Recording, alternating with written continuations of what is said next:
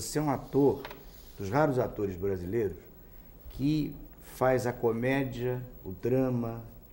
É, você fez, por exemplo, lembrando no cinema, você fez o, o, o, o padre bressoniano anímico, ao mesmo tempo fez, com o próprio mesmo diretor, Joaquim Pedro, você fez a, a, a imitação do Grande Otelo no Macunaíma. Você. Um filme que me impressiona muito teu, que é O Rei da Noite do Abenco, uhum. que é um filme que você faz um homem desde 18, 20 anos até velho. E agora você faz o, o, o impoluto o Policarpo, mas que ao mesmo tempo é patético, porque você faz o humor, você faz as pessoas rirem, depois faz as pessoas ficarem emocionadas. Como é que é isso? Como é que é esse processo interior seu, camaleônico, de você conseguir fazer a comédia, o drama? Porque, em geral, os atores meio que se especializam. Os atores, você faz o Shazam, que marcou a infância de tanta gente já que ligou para aqui. Agora você faz o Por Amor. É que é tudo igual. Pois é, mas como é que é? Parece tão diferente na tela. É tudo igual. É tudo igual. Isso é lição do Stanislavski, do velho Stanislavski. Como é que é essa mágica? Não, é que o, o ator faz personagens. Agora, se o personagem, se o Macunema, se o personagem que, que diz, ai que preguiça, quer dizer, quer dizer, ele é assim, ele fala assim. Agora, o, você, você faz com o mesmo sentimento de verdade, né? Quer dizer, eu, eu nunca fiz comédia como comediante. É, nunca fiz nada engraçado, por ser engraçado. É uma característica do personagem. Ela pode ser engraçada, pode ser ridícula. Quer dizer, Policarpo tem uma coisa desmedida, assim, de, de não, aquela coisa visionária, olhar, olhar para o futuro, pode ficar um pouco, um, pouco, um pouco ridículo. Mas ele é assim, né? O que, é que eu posso fazer, né?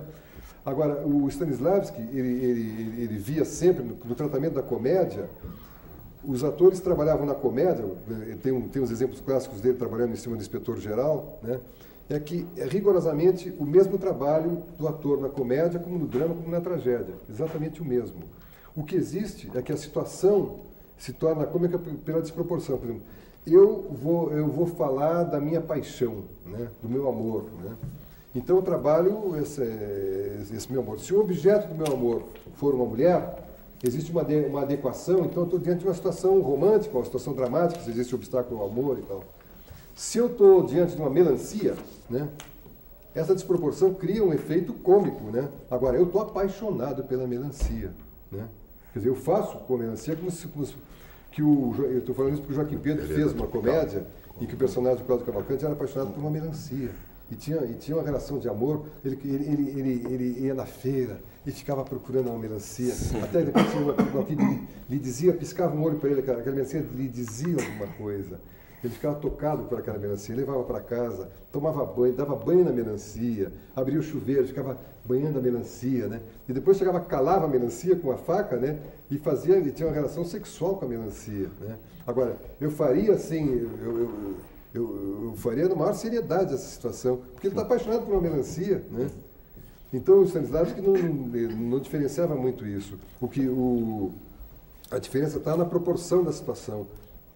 A proporção adequada ou inadequada. Se existe uma desproporção, uma, uma, uma, a situação se torna absurda, né?